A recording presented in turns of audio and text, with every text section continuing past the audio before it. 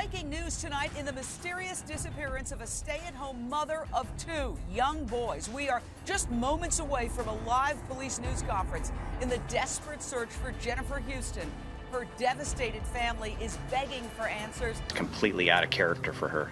Uh, maybe to go have a coffee with a, a girlfriend for an hour, but to be gone like this is just nothing she's ever done. And I've, we're about to celebrate our 10 year wedding anniversary and we've been together together. Uh, we've been together for 17 years, so this is like nothing she's ever done before. It's plausible that maybe she's in a ditch somewhere, but I, I don't know if you all saw this, but in the press conference, he answered a lot of questions. He spoke very calmly, but the minute the the minute he was asked, well, where were you and when? How long was it until you called? And it wasn't until 9:30 after bath time. I thought it was odd that she wasn't home till 9:30, and I thought it was very odd that he didn't want to answer any more questions. He said, That's all I have to say today after they were asking him when he noticed she was gone.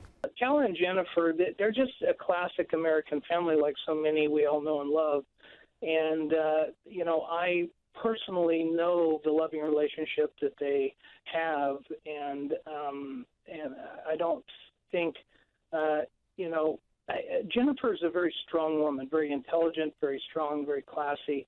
And to be honest with you, I think she's the kind of uh, person that would uh, fight uh, her way uh, out of a situation if, if it were some such thing as an abduction. I, she's just a, a, a strong person. I, 14 year old girl. I mean, she's just starting life. Our hearts are broken.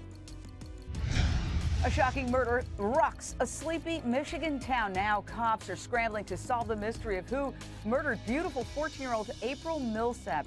April took her precious dog Penny for a walk last Thursday evening on a popular trail in her hometown in Michigan. When she didn't come home after about an hour, her frantic mother called cops. April's faithful dog Penny alerted two joggers on the trail and led them to the girl's body. This wasn't some type of robbery. She was only 14 years old. So you really do have to question was this someone that knew her, that was specifically targeting her? Maybe some type of revenge killing? Because as it stands now, the police don't even know what the cause of death was other than it was a homicide. So well, it's just uh, tragic, Dr. and Jeff, I hope they get to the bottom of it. I do too.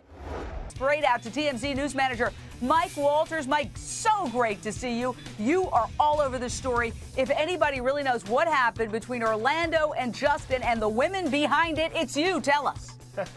Absolutely, Jane. Good to see you too. So, one name, Miranda Kerr. That is the mother of Orlando Bloom's child, his ex wife. And I can tell you, here's what went down. When this punch was thrown, her name was thrown around by both guys several times. And the background story here, Jane, is that when about two years ago, there was a, uh, a thing happening in New York with Victoria's Secret, a show that Justin Bieber uh, performed at, and Miranda Kerr, still married to Orlando Bloom, allegedly had some kind of interaction with Justin after the show. Now, that is the allegation. I can tell you fact that these two just brawled. Orlando threw a punch. I've seen the video. We had it on TMZ.com where he throws a punch and misses. And Justin immediately put up a photograph of Miranda Kerr on his Instagram, then deleted it. And just a few minutes ago, he also put up a photo of, of Orlando Bloom, Bloom crying like this on his Instagram. Justin is being very clear that it's over Miranda Kerr and the allegation that he might have done something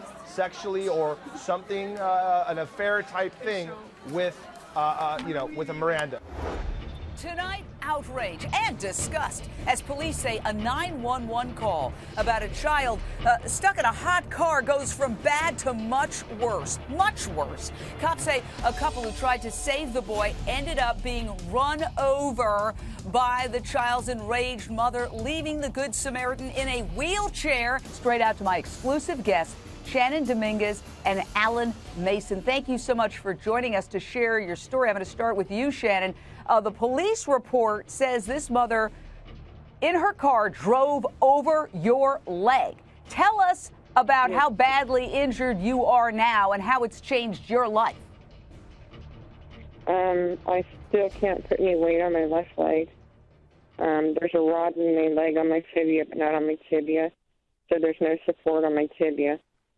So I can't walk or use a walker. I have to, I'm wheelchair bound. What happened? I realized that her son was in the car by himself in the front seat. um, had no seatbelt or anything on. And like so, I immediately called 911 um, and gave her their, her make and model of car, the color of her car, and her driver, her license plate number.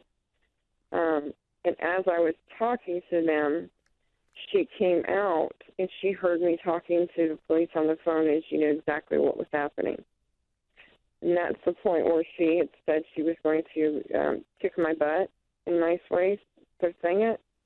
Um, and my boyfriend Alan got out of the car. He had already come back out, so he got out of the car and stood in between us and said, "Nobody's going to touch anybody. There's not going to be any violence."